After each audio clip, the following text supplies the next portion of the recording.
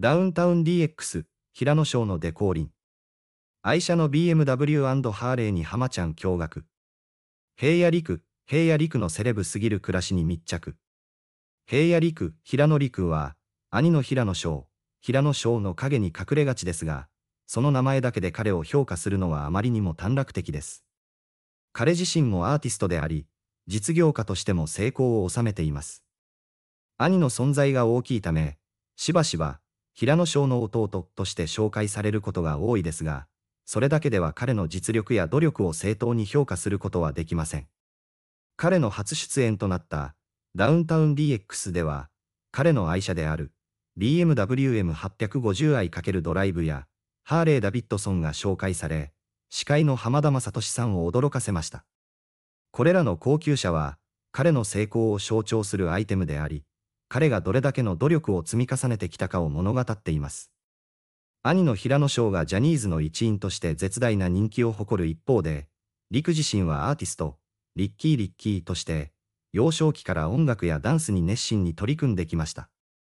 小学3年生の時にはダンスコンテストで優勝し、その後ラップにも興味を持ち、中学2年生でミニアルバムをリリースするなど、早い段階から自分の道を切り開いてきました。このように、彼は自身の夢を追い求め、着実にキャリアを築いてきたのです。もちろん、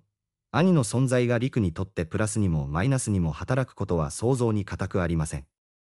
スーパースターの兄を持つことは、多くの期待とプレッシャーを伴うでしょう。しかし、陸はそのようなプレッシャーにも負けず、実業家としての一面を持ちながら、芸能活動にも本腰を入れて取り組んでいます。彼がこうした道を選んだ背景には、兄の苦労や成功を間近で見てきた影響もあるのかもしれません。芸能界が決して甘くない世界であることを知りつつも、自らの夢を追い続ける彼の姿勢には、多くの人々が共感を覚えるでしょう。また、彼の家庭環境についても触れておくべきです。彼は新しいお父さんや妹と共に、仲睦まじく豊かな生活を送っています。家庭の中で育まれた絆や価値観が、彼の人格形成に大きな影響を与えたことでしょ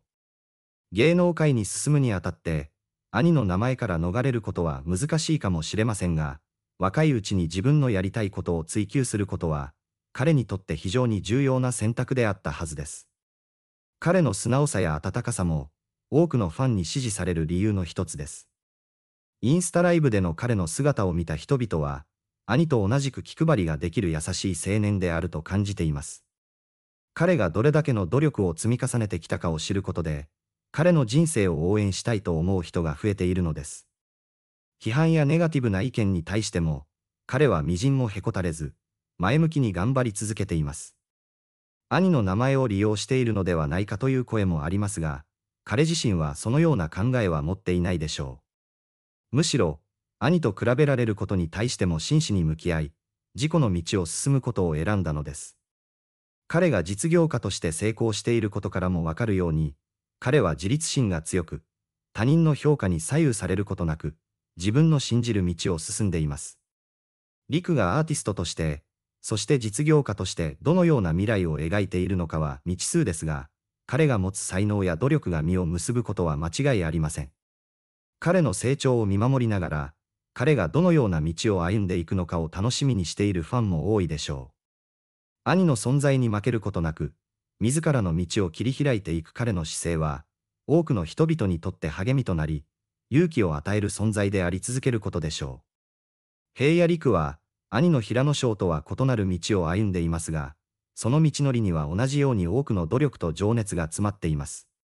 彼がどのような形であれ、自己表現を追求し続ける限り、彼の名前は兄の影を超えて輝きを放つことでしょう。そして、その輝きがより多くの人々に届くよう、私たちも彼を応援していきたいものです。平野陸平野省の提愛車の BMW& ハーレーを紹介初出演のダウンタウン DX で、ナンバーアンダーライン愛、ナンバー愛の平野翔さんの弟で、アーティストやブランドオーナーとして活動する平野陸、陸さんが、9月12日午後10時から放送されるトークバラエティ番組、ダウンタウン DX 読売テレビ日本テレビ系に初出演する。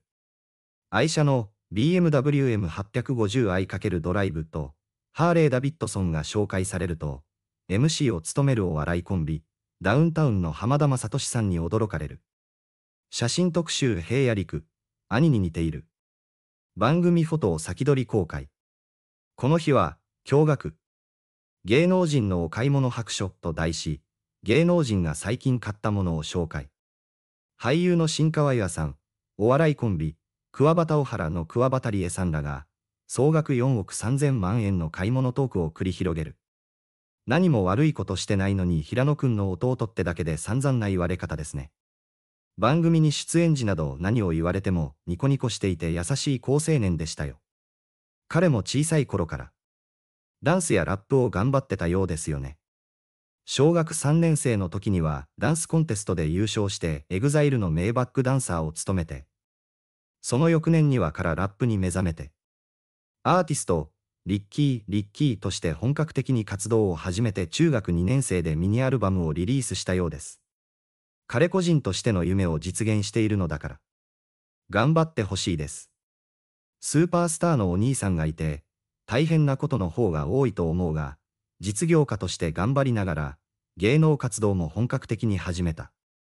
お兄さんの苦労も見ているから、甘い世界でないことは知っていながらやりたかったのかな。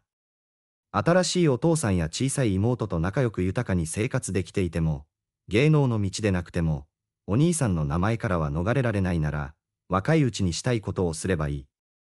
ひがみをみじんも感じさせない素直さがいい。歌もダンスも上手。比較されてもへこたれずに頑張ってほしい。りくくんは小学生の時から音楽活動してますよ。お兄ちゃん、翔くんと幼少期からダンスのコンテストにも出てるし。翔くんがジャニーズに入ってビッグになったから、平野翔の弟という肩書きなってしまってるけど、言われないくらい名前が知れ渡るといいですね。平野兄弟は小さい時から自立できるような教育をされてると思います。りくくんは決してお兄ちゃんの名前を利用とか考えてないと思いますよ。頑張ってほしいですね。インスタライブを見たことがあります。お兄さんと同じく、気配りができてとても優しい子の印象です。いろいろ言われて本人も嫌な思いをしているかもしれません。恥ずかしくないのかなとか書いている人も多いけど、彼の人生だし銃も承知で出てきていると思います。ここで彼に何かネガティブなことを書く人は、自分が全く知らない人から書かれまくっても平気なのでしょうか。コネであろうが売名であろうが、平野翔の弟であること自体凡人とは違うんですから、何でも使えるものは使って、有名になっても良いと思います。私はお兄様のファンですが、陰ながら応援してます。頑張れ。平野翔の弟、初めて見た。似てないね。兄貴は綺麗で可愛らしい顔してるけど。弟も芸能界に入るつもりなのかな？アーティストって書いてあるから入ってるのか？失礼だけど、あまり人気は出なさそう。実業家で成功してるなら、そちらに専念した方がいいと思う。これはすごいですね。驚きました。素晴らしいですね。お兄さんに本当に似てますね。これだけそっくりだと平野オタもほっとかないと思う。いずれはナンバーアイ加入もあるんじゃないかな。センターにダブル平野はファンの夢だと思う。応援してます。頑張ってください。温かく見守ってあげましょう。歌も上手いし。しっかりしてる子ですよ。何でこんなに稼げるんだ。良い兄に恵まれて羨ましい。